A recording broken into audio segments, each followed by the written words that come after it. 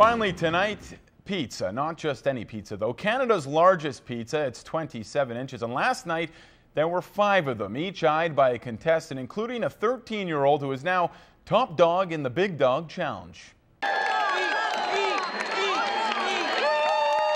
The crowd is ready, the pizza's cooked, the race and dinner is on. Top Dog Meat Lover pizzas are 27 inches.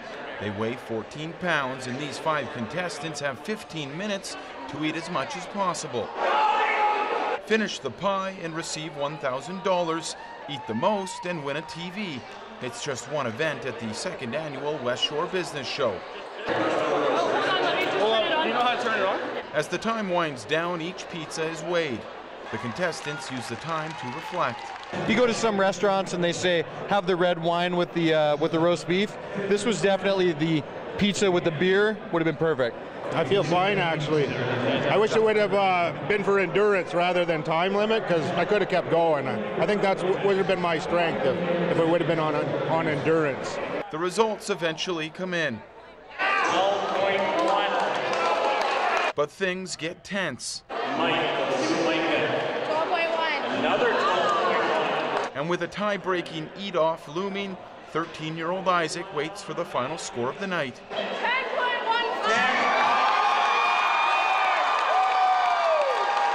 The middle school student shocks them all. We had we had uh, one gentleman that was 300 and some odd pounds up there, and and uh, the 13 year old walked away with it. But it would not have been possible without an aunt. I got a posting on Facebook and thought of my nephew right away. Thought it might be a, a, little bit of fun for him, and he was all about it. So here we are now. Winners with their hearts set on the prize. I've been I've been wanting one for quite a while now, quite a while.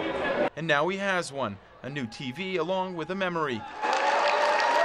It was the uh, best 15 minutes of my life and perhaps the most filling, but it's a small price to pay, and the five say they were happy to do it. All the money raised goes to help children play sports, meaning while there may be some short term pain, the bites are for a long term gain.